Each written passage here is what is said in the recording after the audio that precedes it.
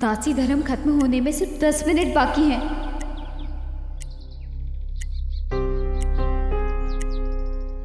मासी सा इस घर में सबसे बड़ी हैं। इनकी आज्ञा के विरुद्ध जाकर तुमने इनके साथ साथ मेरा भी अपमान किया है। एक मिनट। मैंने ना ही किसी का अपमान किया है और ना ही मासी मासीसा की आज्ञा के खिलाफ जाके कुछ किया है। मैंने सुमन को छुआ तक नहीं। अरे इस समय सुमन जिस स्थिति में है वो हर औरत की जीवन का एक अहम हिस्सा है। तो फिर ऐसे में एक औरत को अछूत क्यों माना जाए?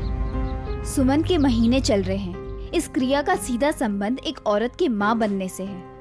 इस संसार को आगे बढ़ाने से है। तो फिर हम एक औरत की जीवन की सबसे इम्पोर्टेंट क्रिया को ऐसे पाप जैसे क्यों समझते हैं? आप तो एक डॉक्टर है ना? तो फिर आप एक औरत के शरीर की इस सामान्य क्रिया को ऐसे गलत कैसे ठहरा सकते हैं?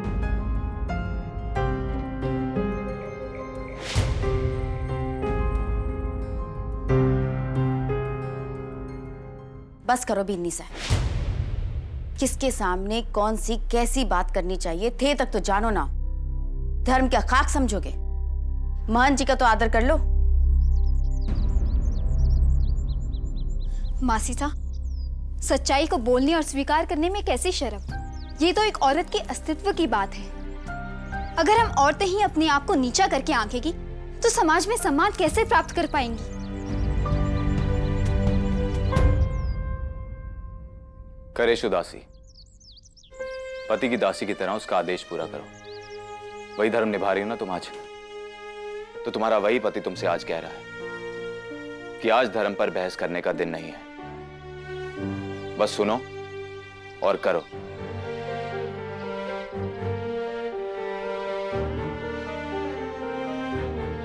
पता नहीं के हो जावे था ने बिन्नी साहब दो चार दिन में मन ने लगने लगा था कि थे इस घर परिवार में घुल मिल गए हो।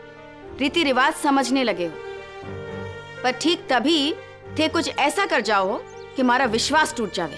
मासी सा मेरा विश्वास कीजिए। मेरा सा कोई गलत मकसद नहीं था। अच्छा तो बताओ तो जरा। सुमन के कमरे में के किमतर करने गए थे?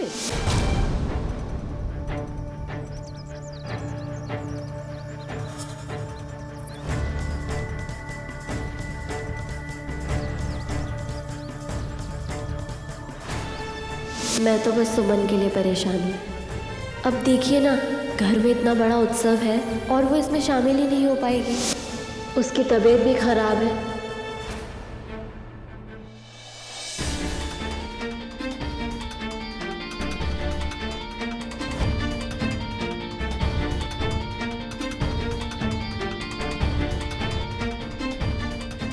शिव की गुरु माँ की उपाधि स्वीकार करने से पहले तुमने अपने आप को अपवित्र कर लिया है।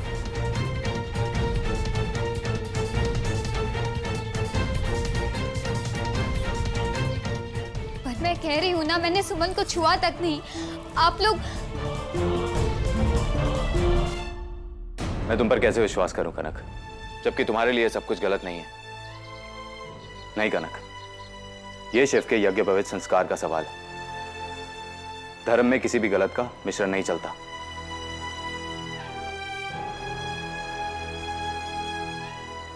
हमें कनक की शुद्धि करानी होगी। शुद्धि?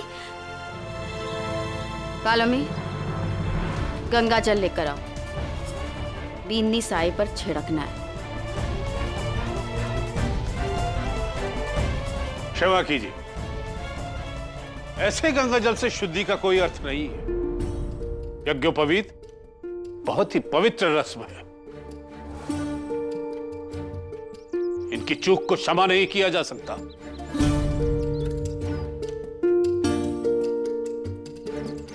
पर मोहन जी मुझे भी इस उत्सव में शामिल होना है। आज शिव का यज्ञ पवित्र संस्कार है।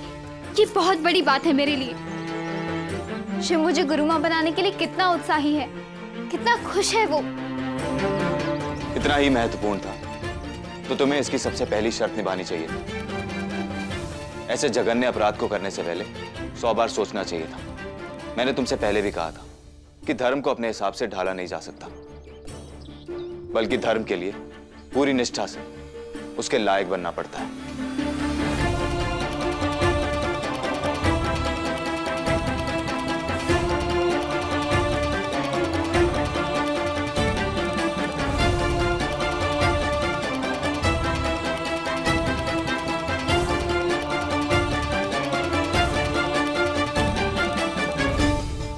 किंतु एक उपाय है।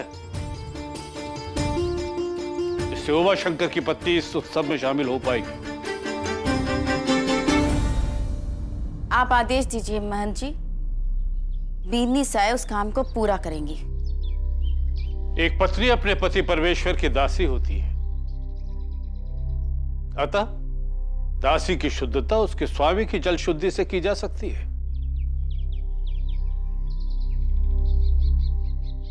स्वामी यानी पति।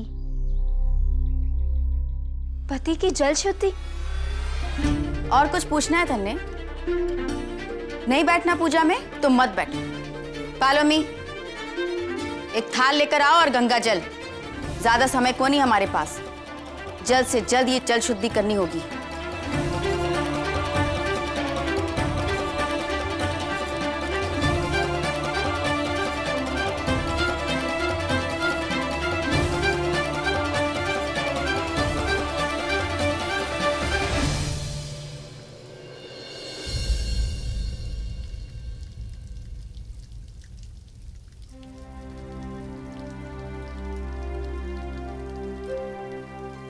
आखिर ये शुद्धि की विधि है क्या?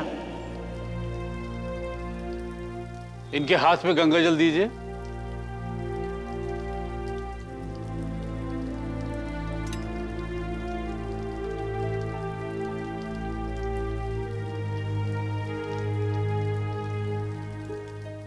उमा शंकर अपने पैर थाल में रखिए।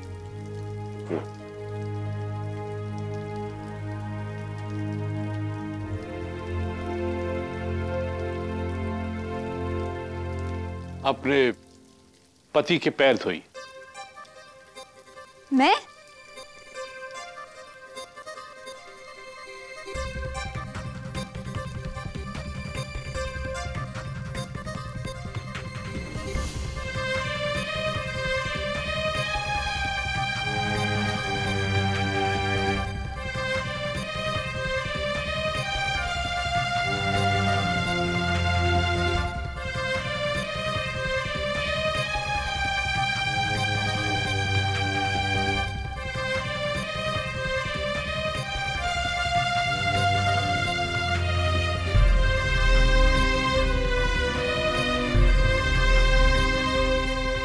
इतना समय नहीं है। मुहूर्त निकल गया तो यज्ञोपवीत संस्कार संपन्न नहीं होगा। बीनी साय के देख रहे हो? अब सारे काम हाथ पकड़ के करवाने पड़ेंगे के? जल्दी करो।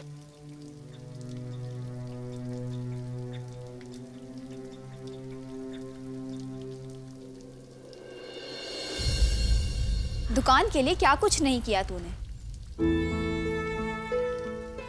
गोबर उठाया।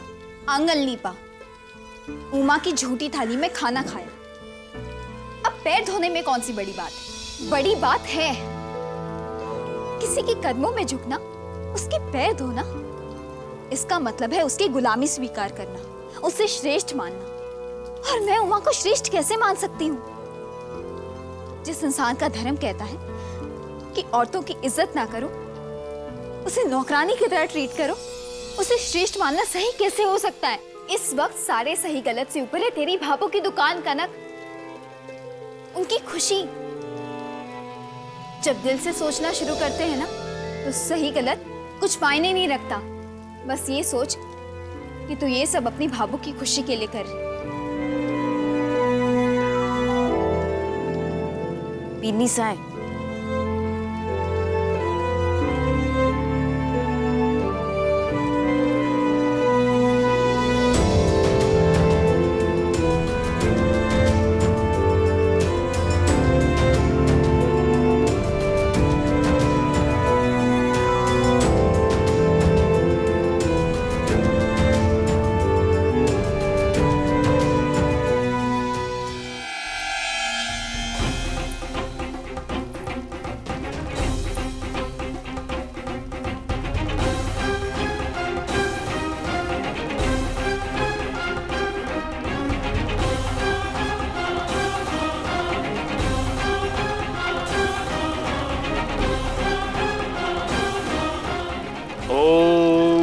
ओम अपवित्र पवित्रो व। सर्वावस्थाम गतो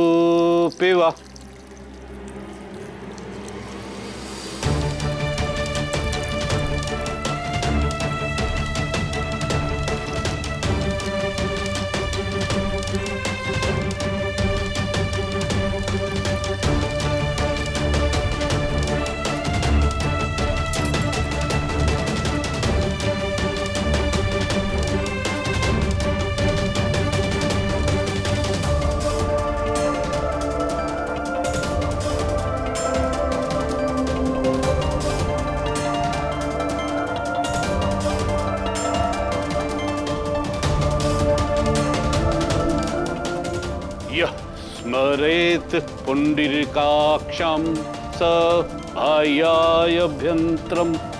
शुचि।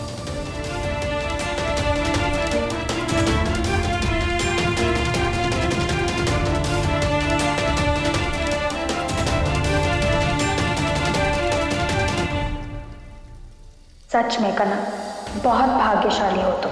जो सुख मुझे लाख चाहने पर भी ना मिल सका, वो तुम्हें साक्षात मिल रहा है।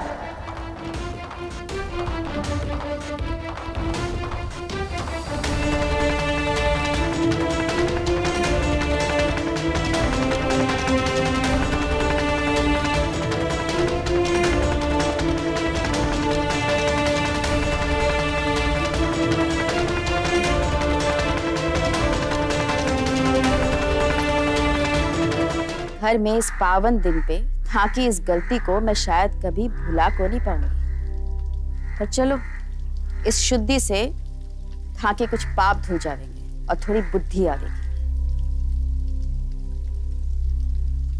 महंत जी, विधि शुरू करें। मैं देख के आती हूँ कि शिव तैयार हुआ कि नहीं। कह रही है जजमान आपकी विधि की जल शुद्धि की विधि अभी पूर्ण नहीं हुई।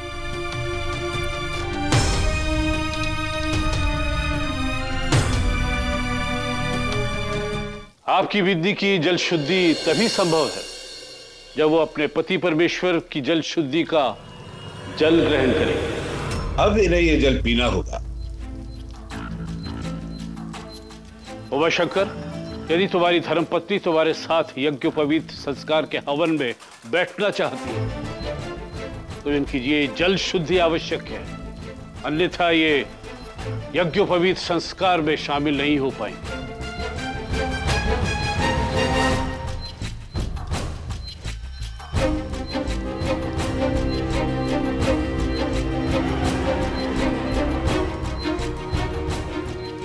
निर्णय लेने में सोचने जितना समय नहीं है,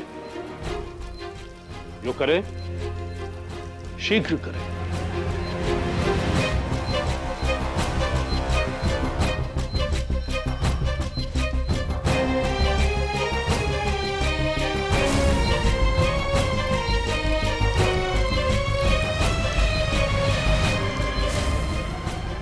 बिन्नी साय अब ये पानी अपने आप था के पेट में नहीं पहुँच जाएगा। जल्दी करो, मुहूर्त का समय बीता जा रहा है। हे विघ्न डाले हो हे दूर करो। चलो, अब जल्दी ये पानी पियो।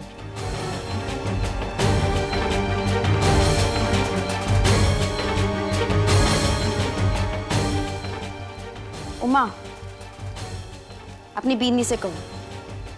समय ज़्यादा कौन ही हमारे पास। नहीं। मैं ये पानी नहीं पी सकती।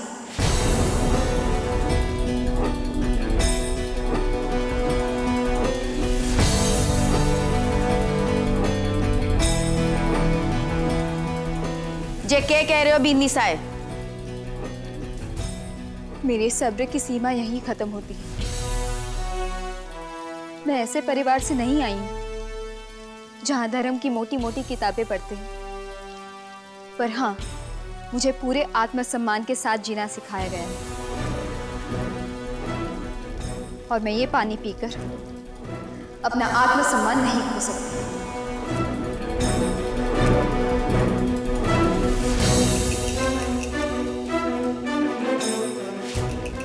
उमा तने सुना? बीनी के कह रही है? तो फिर तुम यज्ञोपवित संस्कार से दूर रहोगे।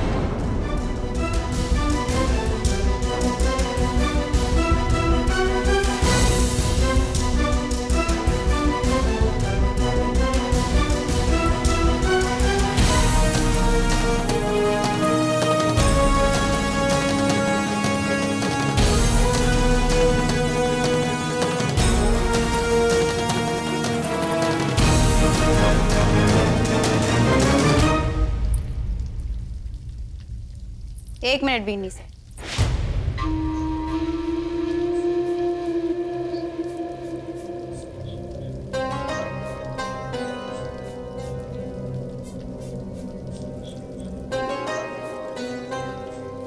ये नेक का हार था के गले में शोभा को नहीं दे रहे।